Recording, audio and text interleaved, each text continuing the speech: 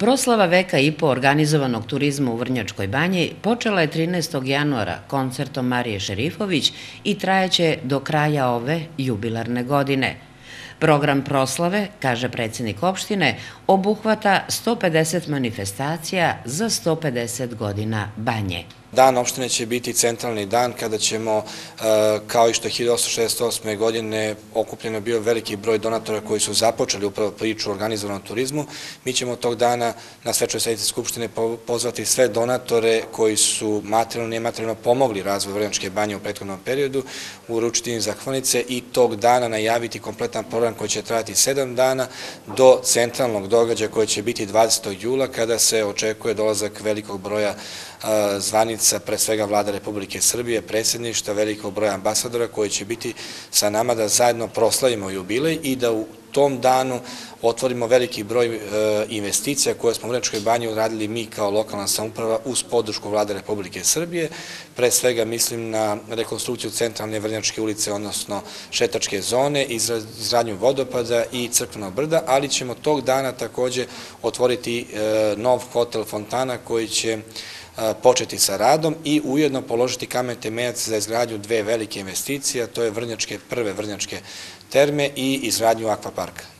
Planirano je i da do 20. jula bude završena i rekonstrukcija Doma zdravlja dr. Nikola Džamić. Dom zdravlja stiže takođe u, e, do tog datuma, on će biti potpuno završen, investicija e, vredna oko 100 miliona e, dinara i tog dana će naravno ministar zdravlja obići objekat i zajedno sa predstavnicima lokalne samuprave i Doma zdravlja otvoriti taj renovirani objekat. Fakultet za hoteljerstvo i turizam svoj doprinos godine jubileja daće trećim međunarodnim naučnim skupom Turizam u funkciji razvoja Republike Srbije, Turizam u eri digitalne transformacije, koji će u Vrnjačkoj banji od 31. maja do 2. juna okupiti veliki broj domaćih i stranih stručnjaka iz oblasti turizma, zdravstva i poljoprivrede.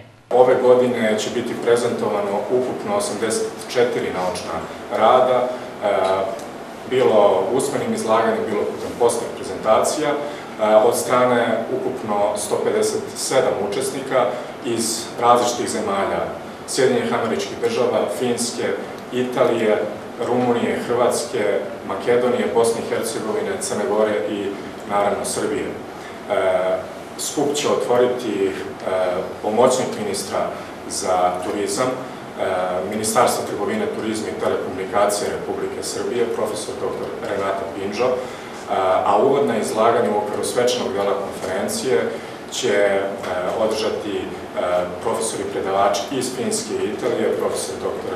Arija Lementina i Gianluca Rossoni, advokat i predavač na Univerzitetu Bergamo u Italiji. Međunarodni naučni skup je jedan od načina na koji Fakultet za hotelijerstvo i turizam godinama uspešno promoviše Vrnjačku banju. Taj odnos je dvosmeran jer fakultet od osnivanja 2012.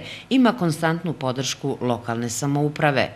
To znači da je fakultet, kao i srednja ugostiteljsko-turistička škola, na pravom mestu u kojem za turističke i ugostiteljske kadrove ima posla. E, mi smo ponosno taj lanac, da kažemo, uspeli da ovaj, uokvirimo i da od obrazovanja srednjoškolskog preko Gotsko-turičke škole, jedna od najpoznatijih i najpriznatijih škola, dođemo do fakulteta, jednog fakulteta za hotelijerstvo i turizam koji je upravo tamo, kao što ste rekli, da i mesto u, u središtu Vrnjačke banje, mesto koje je najpoznatije po turizmu, ali i ovaj treći segment koji je falio, to je upravo stvaranje uslova da ti svršeni e, srednjoškolski kadrovi i akademski kadrovi mogu da nađu svoje uprošljenje upravo u mestu tamo gde su i školovi. To jeste cilj i ideja lokalne samuprave i upravo veliko ulaganje i izgradnja velikog e, kompleksa hotela daje mogućnost da svi oni to primenjeno znanje, e, to jest naučno znanje primene upravo u ovim hotelima, gde će napraviti jedan